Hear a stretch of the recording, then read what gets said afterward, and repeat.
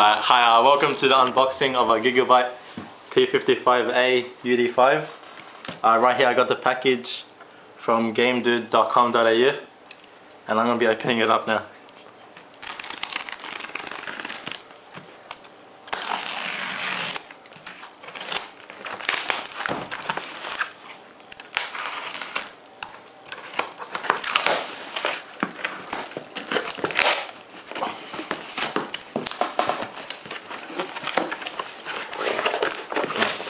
Invoice.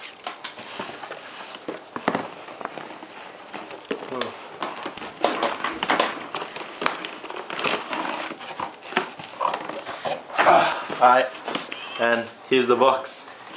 As you can see, P55A UD5 from Gigabyte. And just the back and the sides, just all the specs and shit. The box looks pretty good, so I'm gonna open it now. Yeah, there's no security tabs for some reason. And my friend's behind the camera, so just just ignore any laughs if you hear any. Alright. So first, a step-by-step -step Smart 6 user manual. Step-by-step -step Smart T TPM users manual. And just the case sticker from Gigabyte. Uh, here's the actual user manual. Inside uh, the driver CD and some manual correction, whatever that is. Is that it? Yep. Alright, and a multilingual multilingual installation guidebook. And here you have a SLI bridge wait for it to focus. Not gonna focus or whatever. Alright, um, here you got four serial ATA cables and an IDE cable. You have the IO shield plate and finally you got the Dolby home theater system seal sticker. And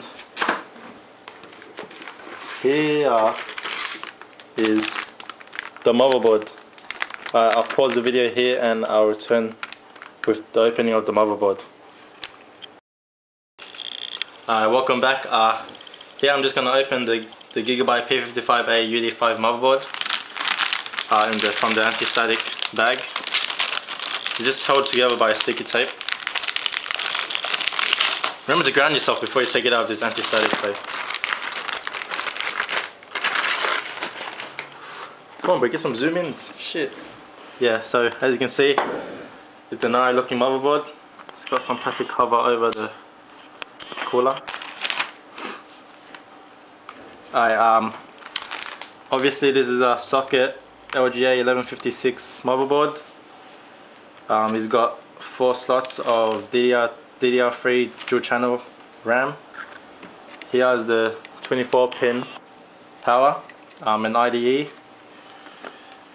Here you got six 3.0 serial ATA slots and these last two are the, the new 6 gigabyte ones. And here, I don't know, these are the, the front panel connectors. Uh, here's a USB connector, the second USB connector. Here's the floppy drive connector, a system fan connector. Um, here's the that coma, whatever that is. I don't know, I'm not sure. Uh, what else? Uh, yeah, here's the CPU socket. Um, here's the MOSFET coolers. Oh yeah, there's also an 8 pin power here. Um, there's the CPU fan. Here's an ATX fan controller. The power fan connector. Uh, yeah, three PCI Express slots. This one runs at 16 times. This one runs at 8 times and this one runs in 4 times. You've got two PCI normal slots. You got two PCI Express one time slots.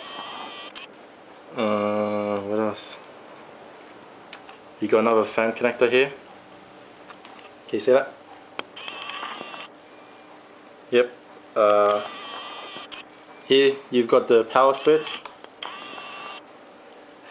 Here you've got the reset button, the reset switch. And here you've got the clear CMOS button and the CMOS battery. Uh, as you can see, the heat pipe is a heat pipe design connecting from all the heat sinks across the board. Um, it's a passive cooling system, so there's no fans. Uh, take a back, take a look at the back. Yeah, it's just a little cooler retention plate for the CPU. And here for the back connectors, you've got two normal USB 2.0 ports. You've got a PS2 slash whatever it is for the keyboard or mouse. Um, I forgot what they are. It's like something optical out or something like that. Uh, you've got a FireWire port. You've got here two USB 3.0 ports. And here you've got a um, um, mini display port. Um, down here you've got two seri um, external Serial A 3.0 ports. Uh, you've got dual gigabit Ethernet. You got again here two, two um, USB 2.0 ports, and here are two USB 3.0 ports. And here's your 8 channel audio 7.1 onboard audio, and that's about it. So just get a good shot of that again.